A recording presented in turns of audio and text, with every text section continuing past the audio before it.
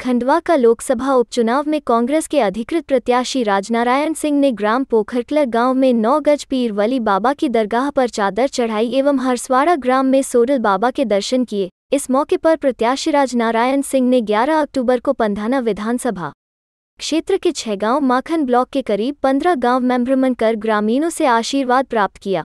वहीं ग्राम कालजाखेड़ी के ग्रामीणों ने कांग्रेस की सदस्यता ग्रहण की। लोकसभा प्रत्याशी ने बढ़ती महँगाई को लेकर केंद्र सरकार के खिलाफ नाराज़गी जताए इस मौके पर कांग्रेस नेत्री छाया गोविंद मोरे, ओंकार पटेल, पूर्व जिला पंचायत अध्यक्ष तोताराम महाजन, देवेंद्र सिंह गौड़, सुनील आर्या एवं डॉक्टर महेंद्र पटेल मौजूद थे। वही ग्राम हरसवाड़ा में कांग्रेस लोकसभा प्रत्याशी ठाकुर राजनारायण सिंह ने बाइक पर बैठकर आम लोगों का पूरे ग्राम का भ्रमण कर आशीर्वाद लिया। खंडवा से जावेद एलजी की रिपोर्ट।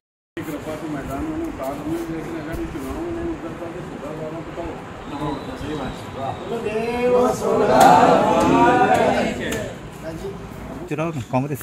देखो मेरे से ज़्यादा आप अनुभवी हो। नहीं जैसे अरुण भैया ने जो बयान दिया वहाँ पे नहीं मैं तो मंच से जो मैं कहा कमेंट नहीं करता मैं तो एक लाइन बोल रहा हूँ। आप भी मेरी बात को गाँव गाँव जाकर पता लगाया ना कि ये चुनाव जब जनता ही चुनाव लड़ रही है तो पार्टी के लोग भी तो सब इकट्ठे हो गए ना कि चुनाव तो जनता लड़ रही है। तो इस वक्त जिला कांग्रेस का ये अध्यक्ष भी है ये हमारी कैंडिडेट है हमारी विधायकी है समझ लो। तो ये सब एक है ये पप्पन दादा। आपने आज तक किसी लोकसभा में इनको दौड़ते देखा? नहीं देख।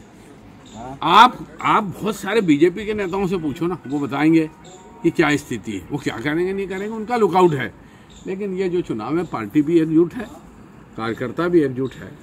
और अब अपन तो साहब बहुत छोटे हैं गुरु महाराज सिंगा महाराज की कृपा से वही भी अटंडी पार कराएगा। बोल गुरु सिंगा महाराज। की जय।